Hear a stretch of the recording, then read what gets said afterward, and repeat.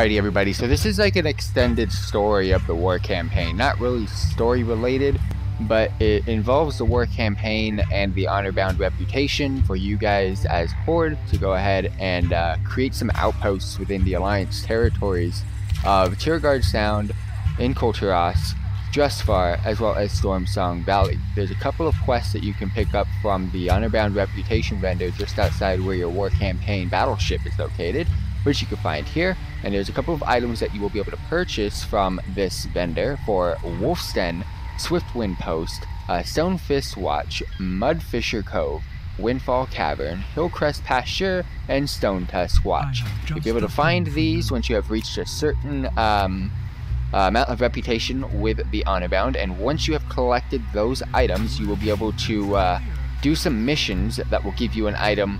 Uh, you'll be able to do some missions from your mission table that will give you an item to uh, go ahead and turn in a quest to Nathanos Blightcaller, which will give you all of these outpost quests.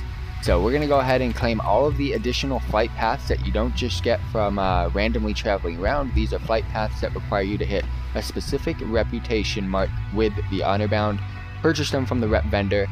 Do the mission.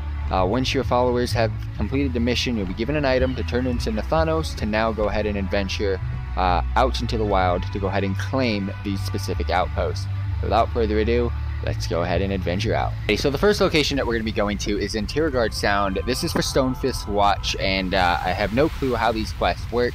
I'm just hoping you have to just click on the banner and you claim it and you get a nice little flight path with a couple of vendors and NPCs around here.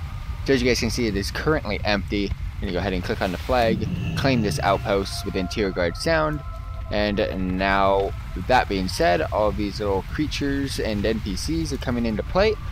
Go ahead and click on the flight path. We have a new flight path. We have a new vendor for repair purposes, I believe. That is uh, definitely true. Uh, we get some peons and stuff working about. We got a little bit of a horde flavor, horde flair going in here as well. I've got an innkeeper as well for this uh, little location, who does have uh, some goods for sale. And of course, we have an outpost commander that we can now turn in this quest to, uh, who actually does nothing at this moment in time, but hopefully this outpost comes into use later on in the storyline. Otherwise, this is simply just going to be a location that's extra for us to go ahead and fly around. So without further ado, let's get into the next outpost. Alrighty, outpost number two, and the second and only outpost in Tiragarde Sound um, is uh, Wolf's Den. So without further ado, let's go ahead and click on the Horde flag, claim this little outpost with all the NPCs now rushing in to the charge, and uh, of course to the call. Uh, first things first, of course, you want to go ahead and grab the flight path, which is the main reason why you want these little outposts. You got your orc peons uh, huddled up everywhere. You got a little cave over there. Uh, you got a quest turn in inside here. Go ahead and do that first. And I believe this place, it doesn't have an innkeeper, I don't know of yet, but it might be in one of these buildings. Um, does actually have quests. However, these are additional wanted quests that you can go ahead and take advantage of.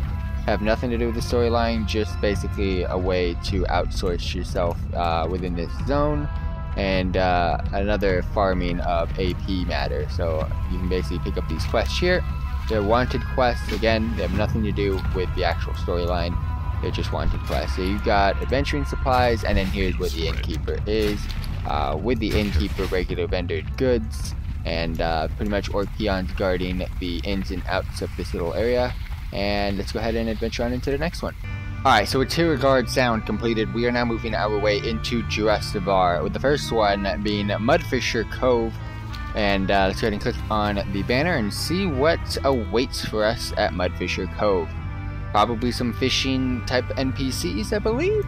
Oh, we get the repair vendor right here, as you guys can see. Normal repairy supplies. You get the flight master, of course. You got an innkeeper with the regular innkeeper supplies. You got the outpost commander that you're going to be able to turn in that quest to.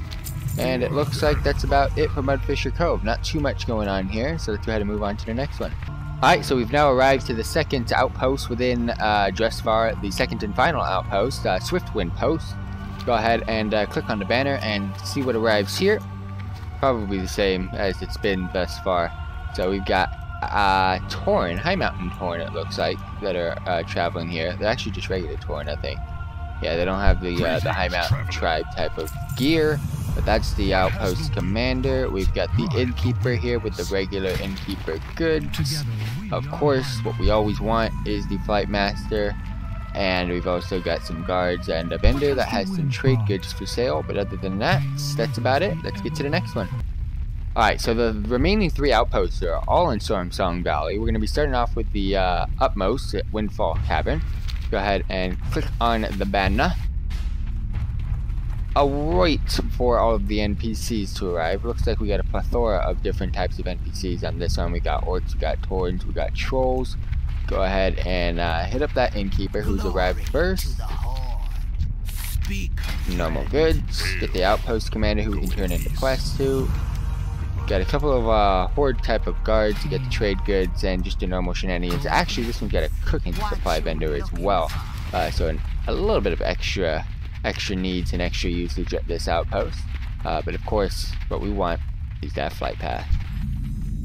Alright, next up, Hillcrest Pasture. Probably the largest outpost that you are going to be claiming because there's already some pre-built goddamn buildings here. Holy shit, fam. Alright, let's see what we got cooking on here. A lot of NPCs going to be joining us here. Um, without further ado, let's just see what we've got. Get some pre-built buildings that are just not really getting used at this moment. Um, we got some... Okay, there we go. Never mind. The NPCs just took freaking forever to get here. Alright, so here's the commander. Getting, uh... Oh, we got the horde banner all day, every day. So we got... Innkeeper. Selling regular Innkeeper Kings. And then that other building over there. Of course, we got the Orc Peons just helping uh, protect the area. And of course, this little area. So yeah, we are using the buildings. These guys just weren't here a couple seconds ago. You've got to the uh, the trade good vendor and a stables master at this one, which is pretty nice and uh, interesting. All right, one more to go. We have arrived. The final outpost, Stone Tusk Watch. We're now in another cave. Just seems the uh, the uh, horde can't handle being seen and want to try to be secret about their outposts within the Alliance areas. So, as always, turn in that final quest with your outpost commander. Sadly, he just does not want it. There we go. Get that innkeeper. Innkeeper Tings. Uh, we've also got a blacksmithing vendor. And anything else going on here? I really don't think so, except for the, uh, the flight master forgot the Flight Master, show you guys the Flight Master in the last place, but I mean, he was just on top of the hill, and that's pretty much it.